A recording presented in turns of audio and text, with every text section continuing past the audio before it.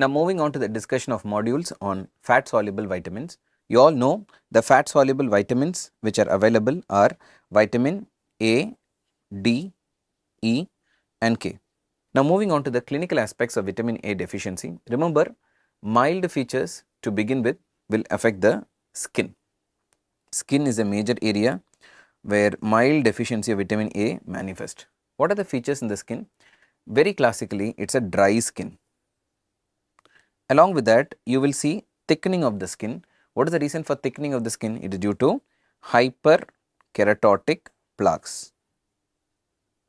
Hyperkeratotic plaques. If you can recollect, I have just told some time back that vitamin A down regulates the keratin synthesis. So, when vitamin A deficiency occurs, there is upregulation of keratin synthesis, thereby causing hyperkeratic keratotic plaques resulting in thick skin. And in severe cases, the skin becomes so thick, it would be called as toad skin. Okay, so these are the features of vitamin A deficiency involving the skin area.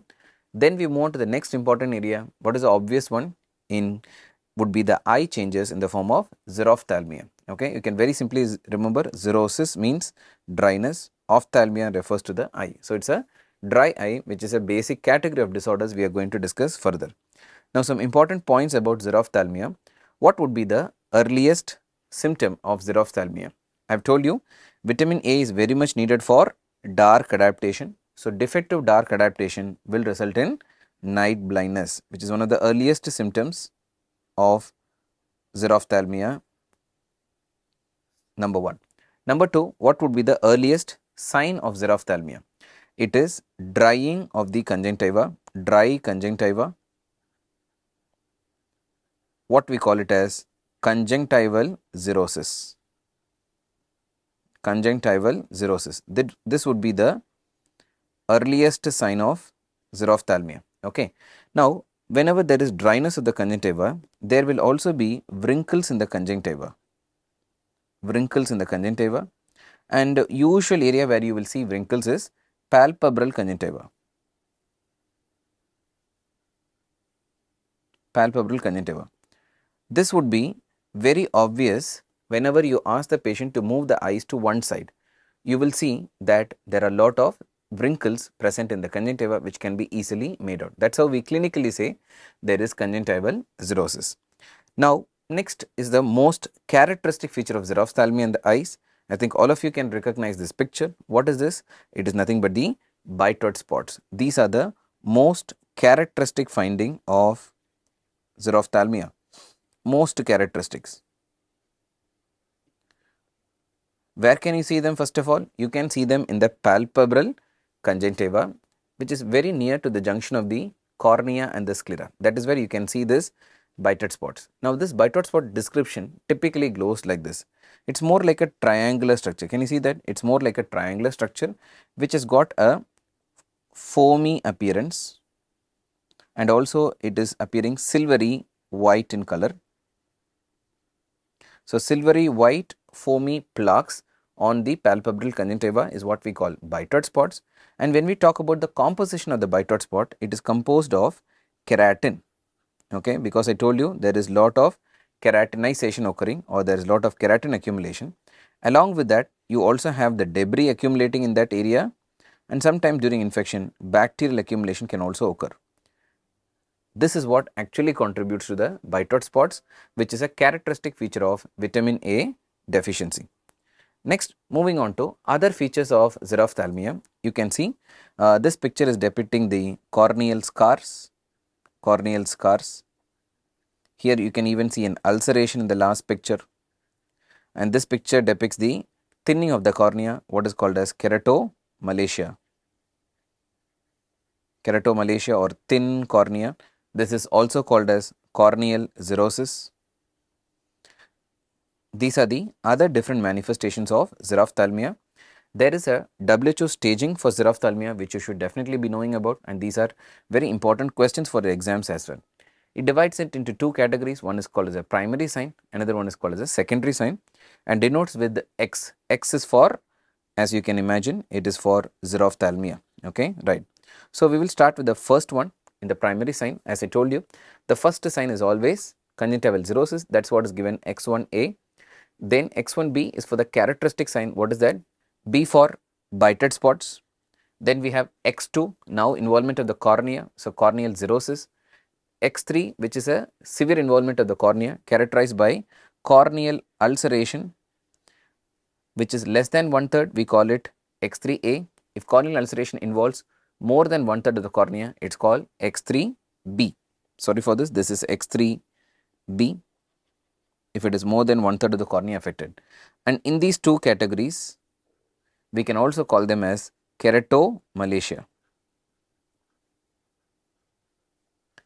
It's a very simple name meaning malacia refers to thinning. Thin cornea is actually what is predisposing to ulceration of the cornea as well. So, these are the primary signs according to WHO staging. Secondary signs are generally the severe features of the disease which include XF for xerophthalmic fundus, F for fundus and XS refers to scarring in the cornea, S is for corneal scarring. That is what you have to remember. These are the WHO stagings related to xerophthalmia. This is an important slide. So many questions have been asked directly from this. Then we move on to management of vitamin A deficiency. Remember management is vitamin A only and the dose of vitamin A is dependent on the age of the child.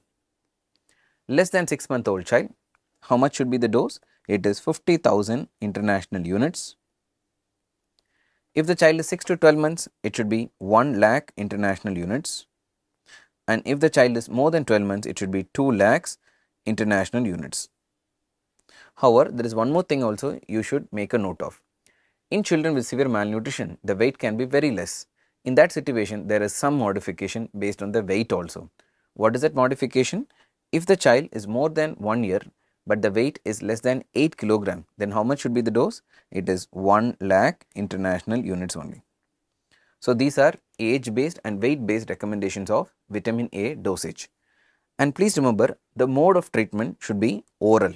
Oral preparations are what are preferable in most case of vitamin A deficiency. We have suspensions which contain 1 lakh units of vitamin A per ml. There are also capsule form which again contain 1 lakh unit per capsule also. Okay. So, oral forms are the preferable mode of treatment. For example, you have a child with severe vomiting or a child is having severe malabsorption where vitamin A is not going to be utilized by the body, then we can give parenteral dose. Okay. Parenteral preparations should be given not as same dose but equivalent dose. So, how much should be the parenteral dose? It should be 50 percent of the oral dose 50% of the oral dose in a child more than 6 months of age and 75% of the oral dose in a child less than 6 months of age. So, these are the recommendations. So, parenteral dose is actually less than the oral dose whenever it is indicated. Now, third important situation where you should remember is whenever there is a clouding of cornea, WHO says that it is an emergency situation. Why? Because this child can very quickly develop blindness, very important. It can lead on to blindness and that too very quickly. So, that is why during clouding of cornea, it is recommended that you give only parenteral vitamin A and how much of that vitamin A is recommended? It is 50,000 to 1 lakh international units of vitamin A is what is recommended if you are using for a case of corneal clouding. Now, one more important situation would be in the form of keratomalacia. In keratomalacia, you will give the vitamin A as I have already said, but in addition to protect the eyes, you can do padding of the eyes, padding of the eyes, which is supposed to promote healing of the cornea as well Along with that, you can also instill topical antibiotic drops. Like for example, 3 times a day you have to use this topical antibiotic drops. These are all supportive management in addition to vitamin A treatment.